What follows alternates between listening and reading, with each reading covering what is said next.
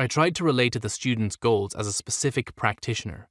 He was interested in pediatrics, so I gave him a calculations example with a pediatric patient to contrast it with that of an adult patient. I showed him a bit of what would be coming and how he would be able to apply it in practice. Both of these examples are reasonable explanations of how you would teach, but don't require that you have had formal teaching experience. Number 19. How will you fit teaching in? You'll be busy. This is a question about prioritizing and organizing. Obviously, you're going to be extraordinarily busy as a resident. You'll probably precept students, especially if you're getting a teaching certificate, and you'll want to be prepared. Here's how you might answer the question even if you've never taught. I'll start with the expression that if you lose an hour in the morning, you'll look for it all day. I want to tell a quick story about a resident who always made sure she didn't lose that hour. I appreciated the residents who took the time to teach me. I know how busy residents are just from my own rotation so far. I had one particular resident who's become a mentor to me. She went through what she was assigned to do, but also shared additional background literature in this AmCare clinic. I felt so much more prepared to meet with patients as I started to understand why we would take a particular approach. I want to mentor as she did. I mean, I mean, yes, it requires more work, but her method was to come to work a little early, not always an actual hour, to set up a teaching system so she didn't reinvent the wheel. She said it took a lot of time at first, but with that system, it made it possible for her to teach more much faster. What I think worked as well is that when, as students, we saw how much energy they were putting in, we reciprocated trying our best to give back by staying a bit later ourselves. She could have focused on her longitudinal projects, but it was clear she had a calendar for taking care of those a little at a time. I learned and appreciated not only the content I learned, but how she prioritized and organized her activities. And we'll finish up with number 20. What qualities does your model preceptor have? This is a good question because it's self reflective. Answering it well shows you've thought about it. It's a window into what you like and what you don't, similar to a trick question. You don't want your ideal preceptor to hold your hand the entire time.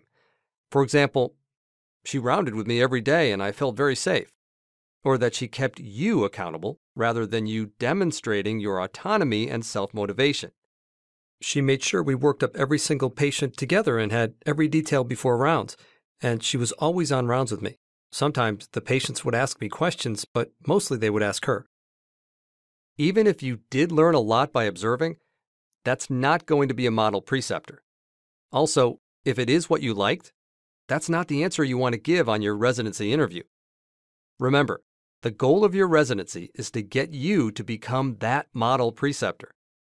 The goal is to turn you from a passive to an active practitioner who rounds making his own or her own recommendations. The interviewers want to know they'll be able to take a day off from time to time because they trust you. You can still pay homage to the preceptor who sheltered you, but articulate how you asked to spread your wings slowly.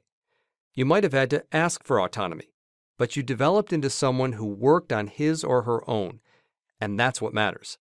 Here's an example. I had an unexpected change in my schedule and landed in an internal medicine rotation. My rotations got shifted several weeks before, and it wasn't due to my institution or me. It just happened. So I rolled with it. I ended up being with a preceptor I didn't know and who didn't really know me, and it turned out he was going to be gone for the fourth rotation week in a five week block. Luckily, I had several rotations that fed well into this internal medicine one. I had built background skills, had hospital experience in psych, and had a good feel for things. What I appreciated about this preceptor was how he showed me his process for working up patients. He introduced me to the computer system, the nurses, the attending, medical residents, and medical students. I really felt oriented, for lack of a better word. He showed me where I could work so I could hang out on the unit and made me feel like part of the family. He did it all during the first week. Every week he met with me to check on things we could improve and to discuss how we would apply them the next week. This feedback was phenomenal. What I enjoyed the most was that he let me round by myself when he was gone the fourth week. He put the unit in my care. Obviously, he had a pharmacist following up, so I had someone with whom I could ask questions and who was a resource. I worked on my patients and rounded with them, so I had autonomy. My preceptor trusted me enough to allow it, and it became the first experience where I honestly felt like a pharmacist. I want to recreate that for my students. That was really special for me.